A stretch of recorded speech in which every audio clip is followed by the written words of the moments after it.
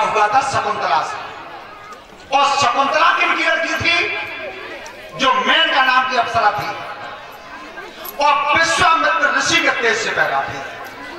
अब एक बात ध्यान से सुनो सब। आज क्या बात गई पीछे तो हमारे समझिए जब उसी सौ रुपया लेके आए। और सोई चीज़ हमने सुना ना पाई तो बेईमानी हुई। तो बेईमानी ना होने की चिंता मत तो जिस समय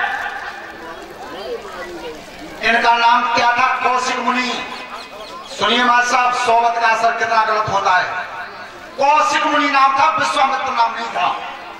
और जिस समय इन्होंने तपस्या की तो देवलोक हिल गया था कौशिक मुनि की तपस्या से। और जब देवराज इंद्र बेचैन हुआ तो देवराज इंद्र ने सलाह करी कि भैया, राजगद्दी डगमगा रही ये कौशिक हैं, ये क्षत्रिय वंश में जन्मे अब राजगद्दी इनकी हो जाएगी। तो उन्होंने ये पैसा थी देवलोक की मेनका और तब मेनका को बुलाया कि एक काम करो, तुम जाएगी जाके समाधि भंग करो पहले कौशिक महात्मा की? तो आज लोग वैश्या जो थी मेनका और अपने भीतर भ्रमण में गई भीतर भवन में गई है और करके आ रही है।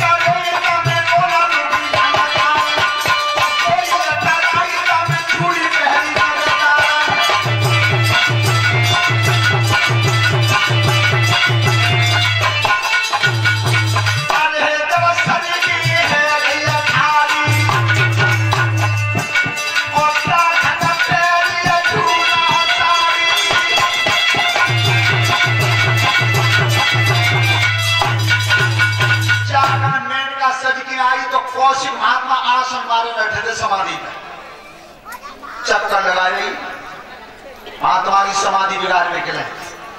और क्या कर रही थी? आवाज़ दी है कान में।